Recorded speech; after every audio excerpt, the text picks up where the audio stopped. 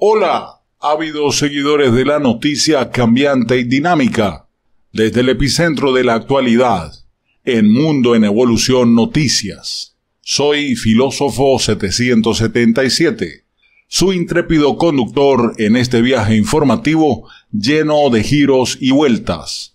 Así que abróchense los cinturones porque estamos a punto de despegar con noticias en evolución. Y el día de hoy te voy a hablar nada más y nada menos de que ellos compiten por negociar con Nicolás Maduro. Me refiero a aquellos países que de una manera antes eran democráticos, eran países que amaban la libertad y ahora priman sobre ellos los deseos de hacer negocios y conseguir petróleo más barato. Maduro está feliz, celebrando constantemente el hecho de que hay un aumento eh, sustancial hasta el momento de las exportaciones de petróleo y le auguran que para el 2024, pese a las licencias recibidas, que son ocho en total, se le van a incrementar aún más y más. Después de que Joe Biden en el mes de octubre liberó ocho licencias para que la empresa petrolera, la empresa de oro, la empresa de material estratégico y la del gas puedan trabajar libremente con los países que quieran, a cambio de una serie de condiciones que no ha cumplido Nicolás en su totalidad, entre ellas el de conceder la habilitación a María Corina, aunque ella no está inhabilitada, como ya se los he compartido anteriormente. La decisión de Joe Biden de revocar las sanciones que limitaban las actividades de la empresa Petróleo de Venezuela y que fueron impuestas al dictador criminal Nicolás Maduro Moros en respuesta a los constantes abusos contra los derechos humanos, contra los venezolanos que le llevan la contraria, que son opositores, ha desencadenado una carrera loca de muchos países y empresas de países para comprar petróleo venezolano, más barato del mundo, desde regímenes rebeldes como China hasta países aliados nominales de los Estados Unidos como la India. Todos quieren con Maduro. El paquete de alivio de sanciones le va a permitir a Petróleos de Venezuela volver a vender su petróleo en mercados internacionales por un periodo de al menos seis meses, con la posibilidad de extenderlo más allá del periodo original de seis meses. Ya el régimen criminal de Nicolás Maduro está aprovechando el alivio del paquete de sanciones, tanto para el petróleo como el gas, el oro, material estratégico y una de las licencias que le permite comercializar y hacer cualquier tipo de negociaciones con empresas de los Estados Unidos, algo que estaba frenado, que estaba eh, detenido gracias a las sanciones impuestas por el titán del norte, Donald Trump. Se han afirmado ya que los acuerdos están listos. Hay países como China y la India que están preparados para comprar petróleo y venderlo en sus eh, negocios.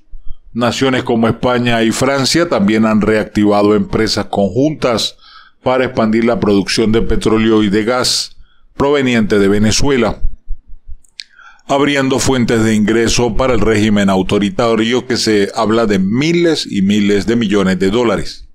Informe publicado del 19 de diciembre de este año indican que la empresa estatal china Sinochem Corporation acordó comprar al menos un millón de barriles de petróleo crudo venezolano.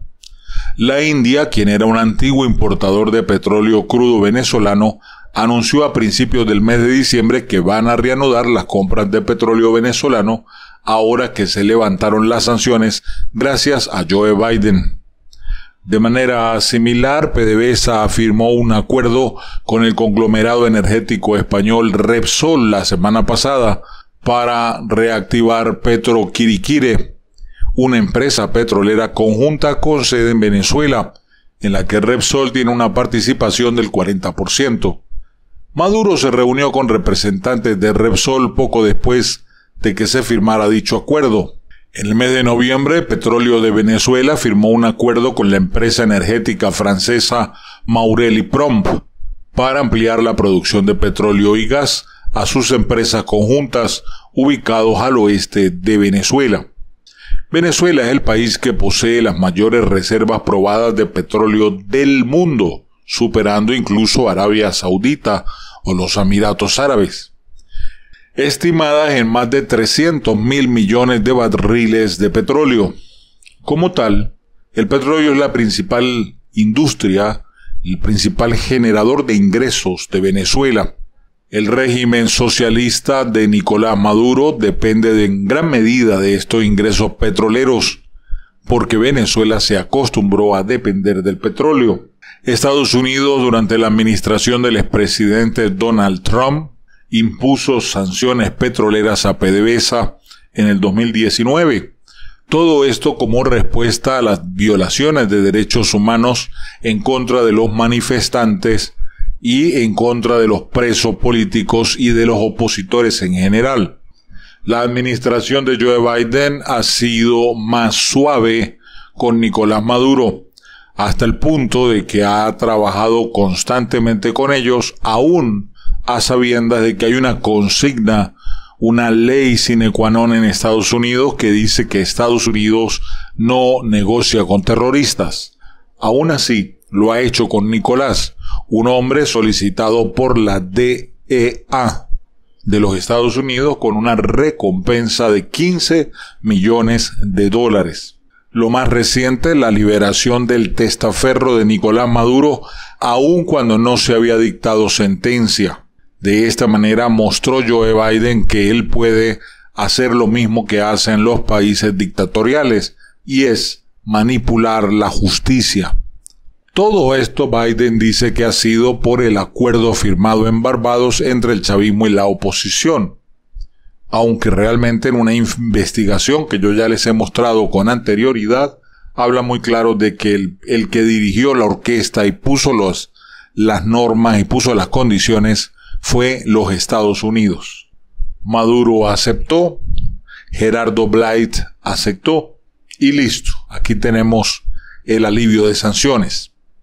Recordemos que todo esto comenzó con la supuesta idea de realizar en Venezuela elecciones libres y justas, algo que hasta el momento Nicolás Maduro no está dispuesto a negociar o a ceder, debido a que él sabe que María Corina Machado le lleva una amplia ventaja.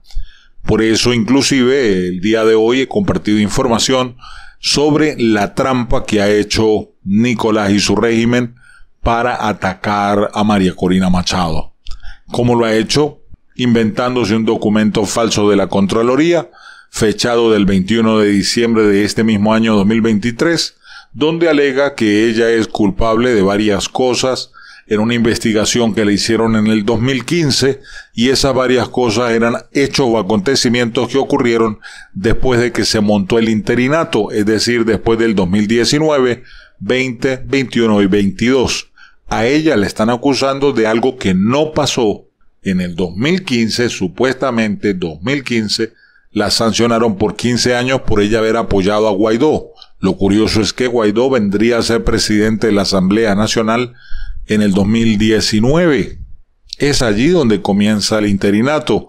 ¿Cómo alguien puede ser acusada en el 2015 de hechos que ocurrieron en el futuro? a menos que tuvieran una máquina del tiempo y hubiesen viajado al futuro y haber visto cuáles fueron, según el chavismo, los delitos o las causas que generaran tal inhabilitación. Debido a que no hay inhabilitación, la pelea sigue.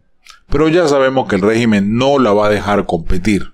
Semanas posteriores al alivio de sanciones, el régimen de Maduro anuló los resultados de las primarias que dieron a María Corina Machado como triunfadora con más de 2.300.000 votos. Vuelvo y repito, tratando de anular el proceso opositor que está buscando un candidato o una candidata que se enfrentara solo con Nicolás Maduro o con el representante del chavismo en las elecciones del 2024. Elecciones que estoy casi seguro y convencido no se van a dar en Venezuela, ya que todo este problema con Guyana va a desencadenar en que Maduro va a llamar un estado de excepción o estado de sitio o estado de emergencia nacional, suspender las garantías por dos o tres años y de esa manera, al suspender las garantías constitucionales, se suspende también la garantía que habla de llamar elecciones. Automáticamente se suspenden las elecciones hasta el 2026 o 27, dependiendo si la licencia, la ordenanza viene con dos o tres años. Esto, señores y señores, es parte del truco, de la escaramuza que está haciendo Nicolás. Mientras países como la India, como China, se apresuran a negociar con Nicolás antes de que suba el precio del petróleo. ¿Qué opinan ustedes? ¿Les parece que es normal, que es lógico, que es permisible poner los negocios antes que el bienestar de los venezolanos? Déjamelo en la caja de comentarios. Antes de despedirte, te invito a que te suscribas al canal, le des clic a la campanita y selecciona la opción todas, para que te lleguen todas las notificaciones de lo que se sube a esta plataforma digital. También te invito a visitar mi página web autodidactamillonarios.com si deseas tener mejores ingresos y cambiar tu estilo de vida. Ahí tenemos las herramientas para que puedas hacerlo. Me despido. Bendiciones. Abrazo rompe costillas. Hasta la próxima.